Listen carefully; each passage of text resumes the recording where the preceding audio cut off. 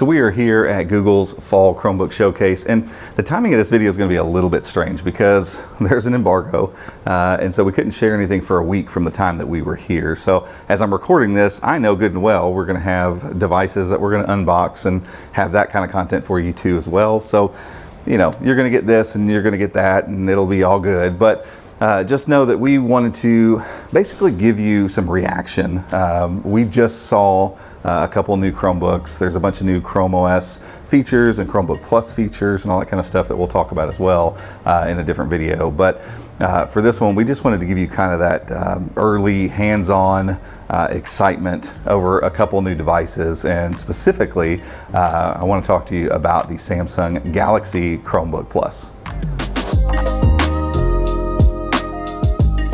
All right, so this is the brand new Samsung Galaxy Chromebook Plus. They named it exactly how we thought they would, and uh, that's not the only thing they got right with this device. Now, just like with the Duet that also uh, debuted here uh, at this event, the new Lenovo Chromebook Duet, um, I'm not going to talk too much about software stuff on this. That's going to be saved for a different video once we've had hands-on time with this. Just want to talk about some of the hardware, get you some of that initial reaction stuff. So without even opening this thing.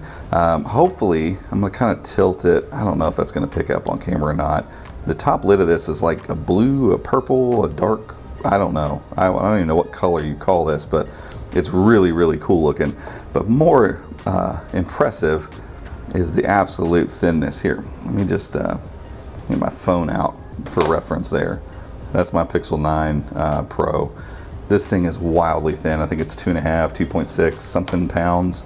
Uh, we don't have all the specs and everything yet, but it's an all aluminum build, which means it's wildly thin, wildly light, but still very, very rigid. Uh, this is impressive, guys. Super impressive. USB Type-C, two of them here, full-size HDMI. Then on the other side, full-size USB Type-A headphone microphone and an SD uh, card storage. Um, we actually have a Core 3 100U processor, 8 gigs of RAM, 256 gigs of storage. Um, just a gorgeous machine. And with all that, all the weighting, still one finger lift. Amazing. Uh, just a really, really well built device here. Nice all black interior, massive trackpad, all glass here. Just an excellent click mechanism. And excuse the demo mode, guys. Sorry about that.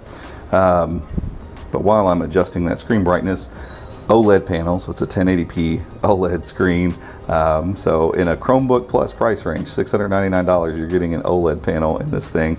Um, don't know what the speakers sound like um, yet because we're just in a spot where we can't do that. But the backlit keyboard looks great. It feels just fantastic. Great keyframe here. So I mean, you're talking OLED panel here, talking great keyframe, backlit, glass trackpad wildly thin, wildly light, uh, just really well made. And when you spread that two pounds over this entire chat, th this just feels unreal. Um, I, I, as soon as this thing gets out, you need to go to a Best Buy, pick it up, and just feel it. Um, the only device I've ever picked up that feels like this would be like an LG Gram.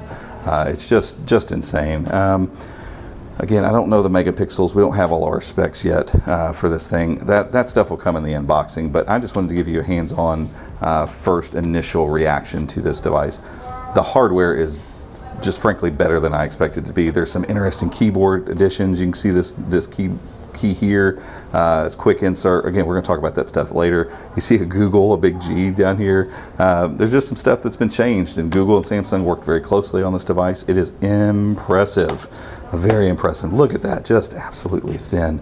So light. So well made can't wait to spend some time with this thing, uh, unbox it, and then get it ready for review. But that's it for this one, guys. If you like this video, give us a thumbs up. Head down there, hit that subscribe button. Be sure to ring the notification icon as well.